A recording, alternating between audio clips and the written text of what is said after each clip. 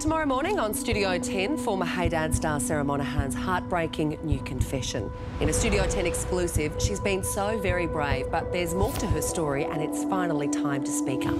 Plus, the pet whisperer reveals what our pets are thinking with a live reading. Studio 10, that's 8.30 tomorrow morning.